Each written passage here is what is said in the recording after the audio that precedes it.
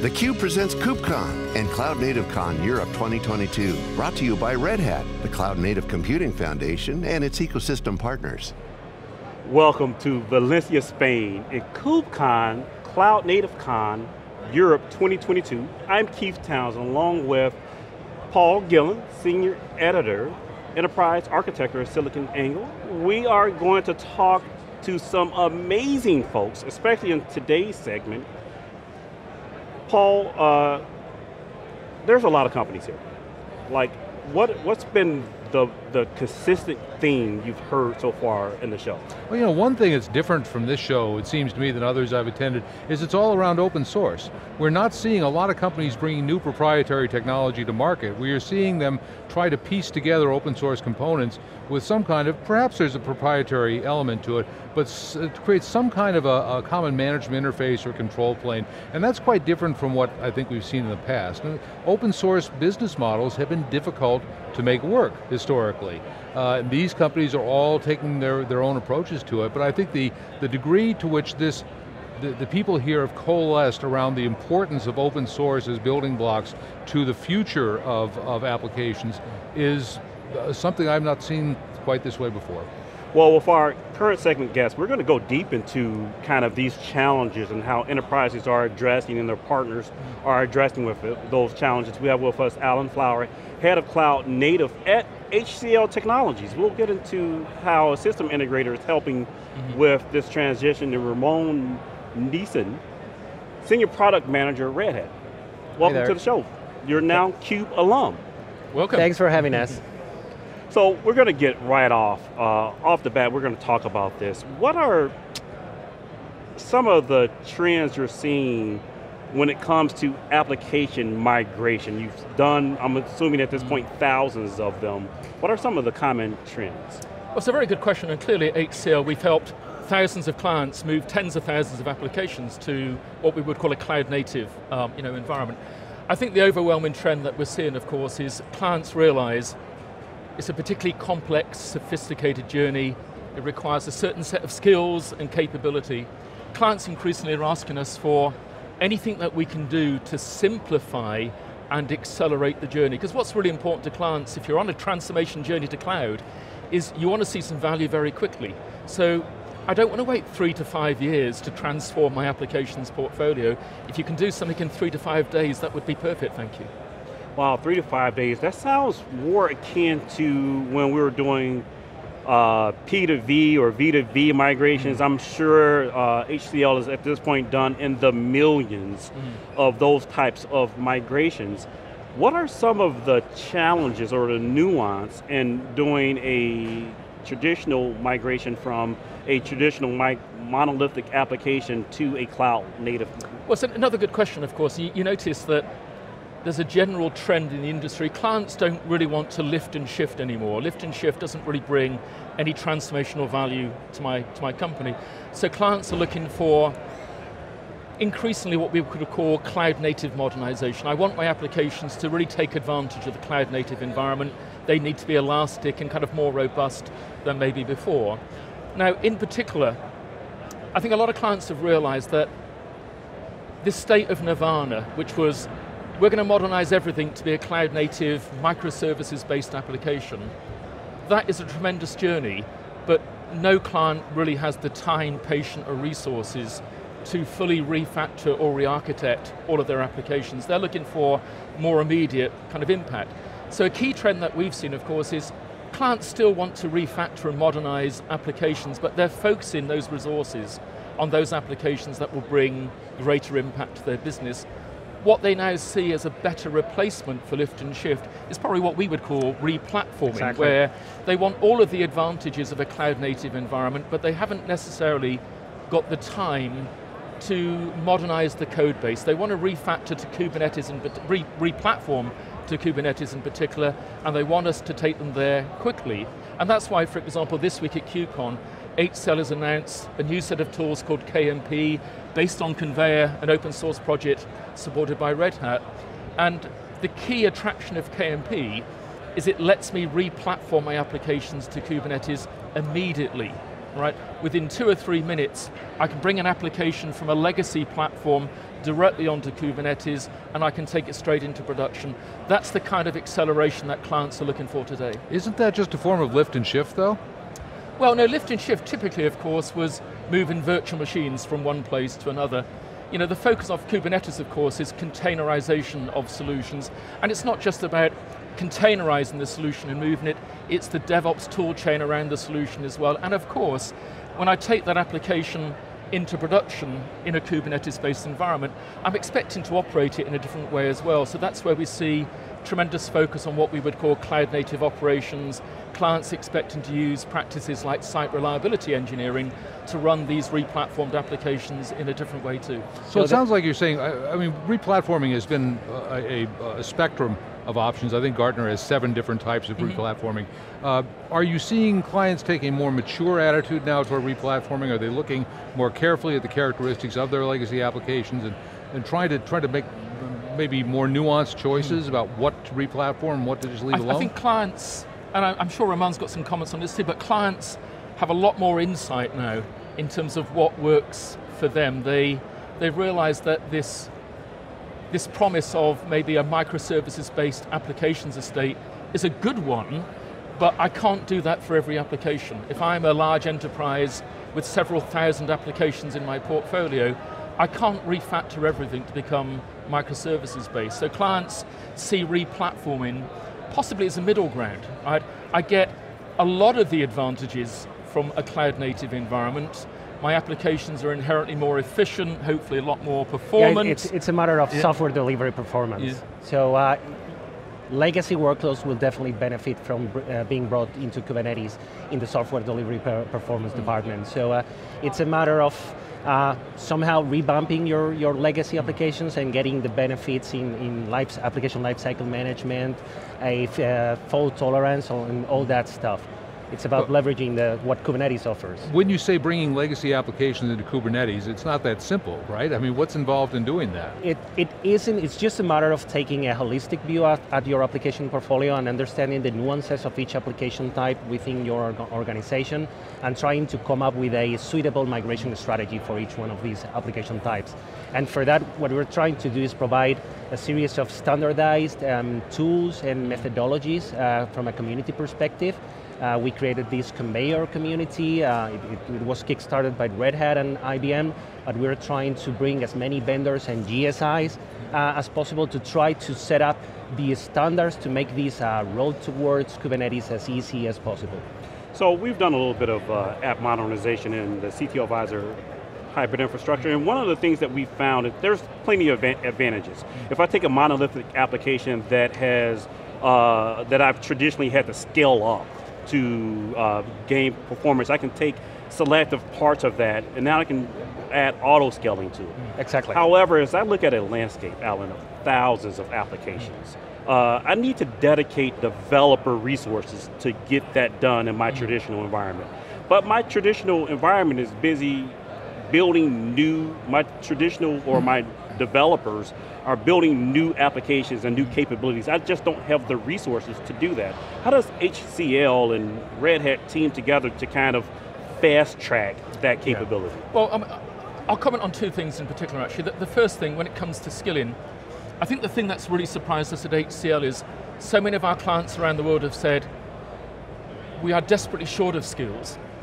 We cannot hire ourselves out of this problem we need to get our existing developer community reskilled around platforms like OpenShift, Konveyor, and other projects too. So the first thing that's happened to us at HCL is we've been incredibly busy undertaking probably what we would call developer workforce modernization, right, where we have to help the client reskill their entire technical and developer community to give them the skills, right? So we will help the client's developer community build the cloud native understanding, help them understand how to modernize tools, for example, uh, or applications. But the second thing I mentioned is, and this comes back to a comment that Ramon made around, around Konveyor, it's been really encouraging to see the open source community start to invest in building the supporting frameworks around my kind of modernization journey because if I'm a developer that's reskilling and I'm attempting to maybe modernize an application, being able to dip into an open source project, I mean a good example would be Tackle, part of the Konveyor project. Exactly. You now have open source based tools that will help you analyze your applications, they will go into the source code, and they will give the developer guidance in terms of what would be effective treatments to undertake. So perhaps the development team that are new to this modernization journey, they would benefit from a project like Konveyor, for example, because exactly. I need to know where can I safely modernize my application.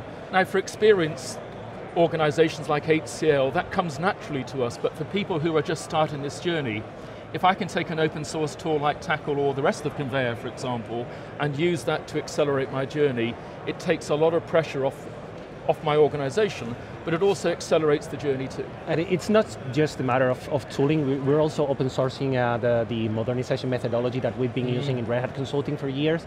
So this whole Konveyor community, it's all about knowledge sharing on one hand, and mm building a set of tools together based on that knowledge that we are sharing, to make it as easy as possible. And what role does Red Hat play in all that? I mean, is your, your you, you've carved out this position for yourself as the as the true open source company. Is that uh, uh, does that position you for a leadership role in helping companies make this transition? I wouldn't say we should be leading the whole thing. Uh, we, we kick-started it, but we want to get other vendors on board for this thing. One cool thing about the Konveyor community is that IBM is uh, open sourcing a lot of their IP, so IBM Research is on board in this thing. We have some really crazy stuff related to AI being applied to application analysis. We have some machine learning in place. We have very cool stuff that has been sitting on a, on a corner in IBM research for quite some years that now it's being open sourced and integrated in a uh, unified user experience to streamline the uh, modernization process as much as possible. So let's talk about the elephant in the room. Uh, HCL was leading the conversation around Cloud Foundry mm. circa five plus years ago. Mm and as customers are thinking about their journey to cloud native, how should they think about that cloud foundry to cloud native or Kubernetes uh, replatforming?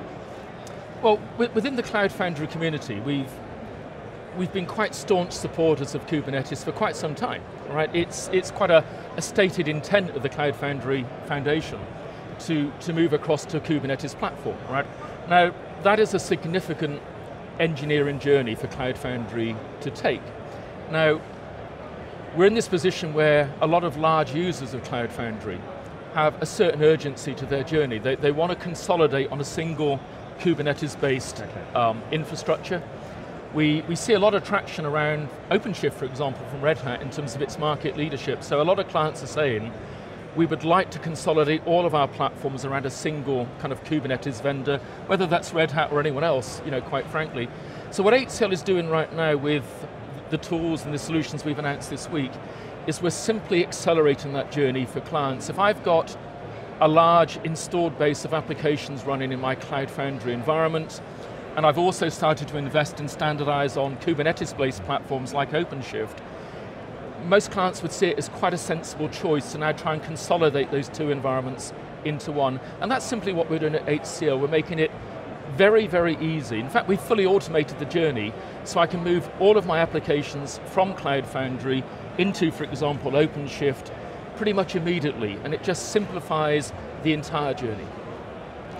So the, as we start to wrap up the segment, I'd like to know customer stories. What, what, how are customers either surprised or challenged when they get into, even with the help of an HCL and Red Hat, where are they seeing the most difficult parts of their migrations? Well, my, my simple comment would be maybe complexity, right? And the, the associated requirement for skilled people to undertake this modernization work, right? We spoke about this, of course, in terms of clients now are a lot more realistic. They understand that their ambition now needs to be somewhat tempered by their ability to sort of drive modernization quickly. So we see a lot of clients, when they look at their very large global portfolios of applications, they're trying to invest their resources in the higher priority applications, the revenue generative applications in particular, but they have to bring everything else with them as well. Now, a common kind of separation point was we see a lot of clients who might say, I'm going to properly modernize and refactor maybe 5 to 10% of my portfolio, but the other 90% also needs to come on the journey as well, and that's really where replatforming in exactly. particular kicks in. So, so the key trend again is, is clients saying to us, I've got to take the entire journey, all right? I've got the resources and the skills to really focus on this much of my application base. Can someone simplify the overall journey so I can afford to bring everything on a cloud native journey. So the key to success here is having a holistic view at the, the application portfolio, segmenting the, the, the, application portfolio in different application types and ordering the, the priorities of these application types and come up with suitable migration strategies for each one of them. Is That's it really necessary to move everything though? Not necessarily. No.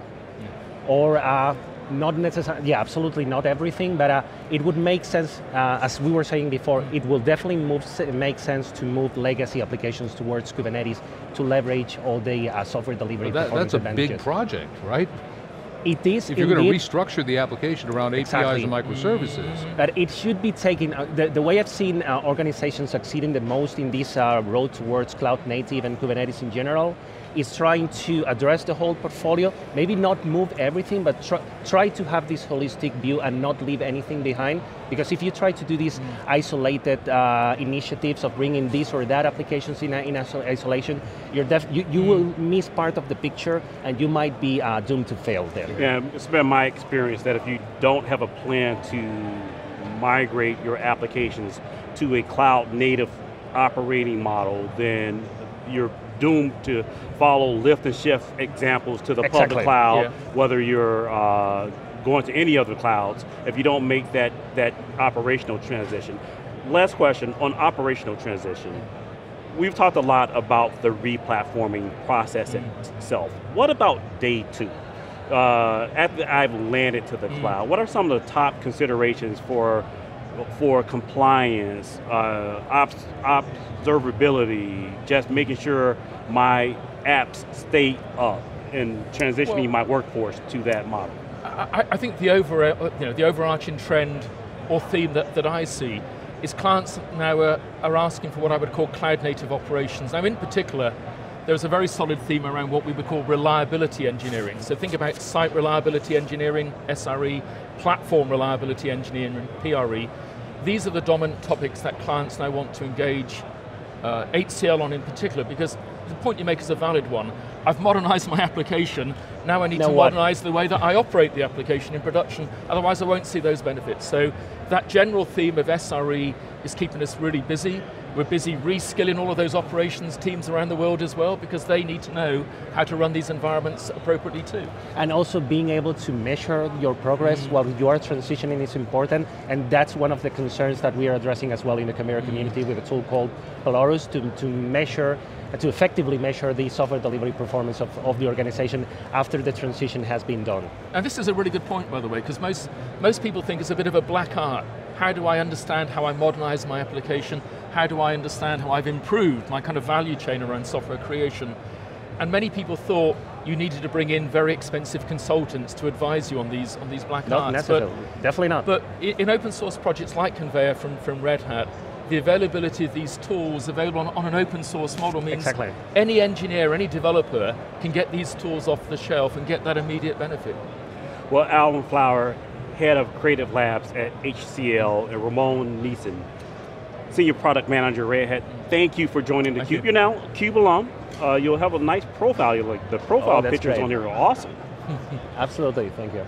From Valencia, Spain, I'm Keith Townsend along with Paul Gillin and you're watching theCUBE, the leader in high-tech coverage.